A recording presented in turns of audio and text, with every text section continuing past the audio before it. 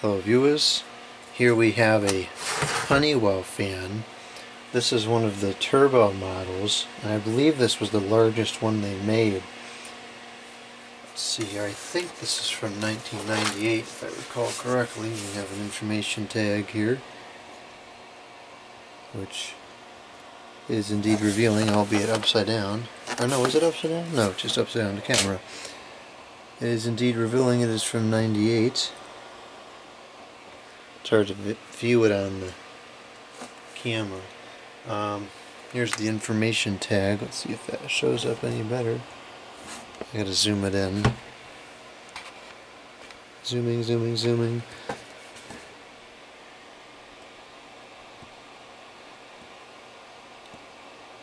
Okay, it's model HF810 and it draws 1.4 amps. That's quite a bit of power for a 15 inch fan. Which I would guess has a PSC motor. It is quite dirty. And uh, there's actually some hairball type thing in there that I need to get out before give it a test run because that's just going to make a mess. So let's see if I can sift that out of there.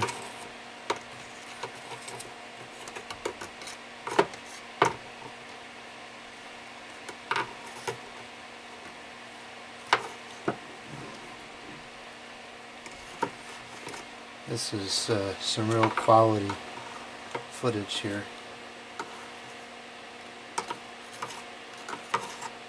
Okay, there's one of them. Let's see if I can get the second one out. Yeah, it doesn't look like it. Well, pull this out. I guess that's a little better.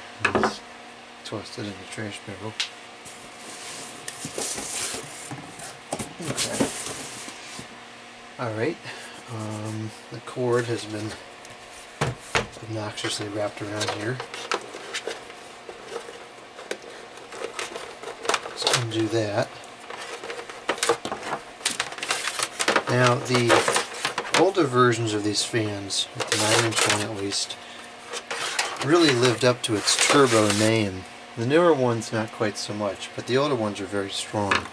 So I imagine that this one will be quite powerful.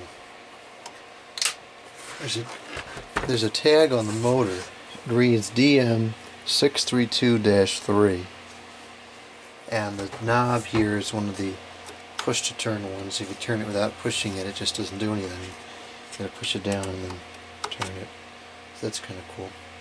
So, um, let's get this going here. I will start it up on low. Gee, the plug is not the greatest. Oh my goodness. What happened to that?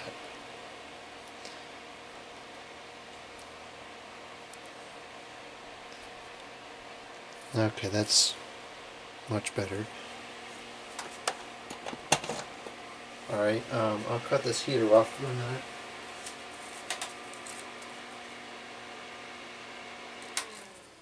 Okay, now we'll start it up on low.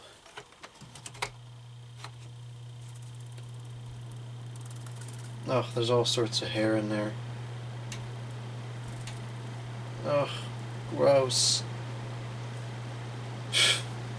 Uh-huh. Perhaps I should have done this outside. Oh, this is making a mess. Alright, well that's low. It's not really moving any air, presumably just because of how dirty it is.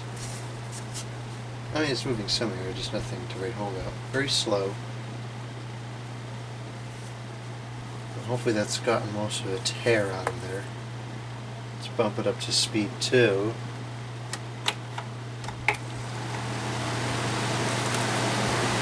more hair in there. Alright, that's throwing some good air now. Oh, there's hair all over the place now.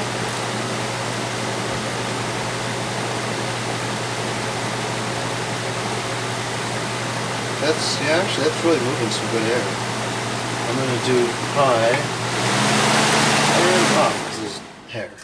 Uh, okay. That made an absolute mess of the shop just after I cleaned, which is just fantastic. Um, well, yeah, it does work, and um, it moves a lot of air. I'm impressed with the airflow. So anyways, um, we'll do another video on this. We'll open it up and clean it out, service the motor, and give it a proper test run when there's no hair in it.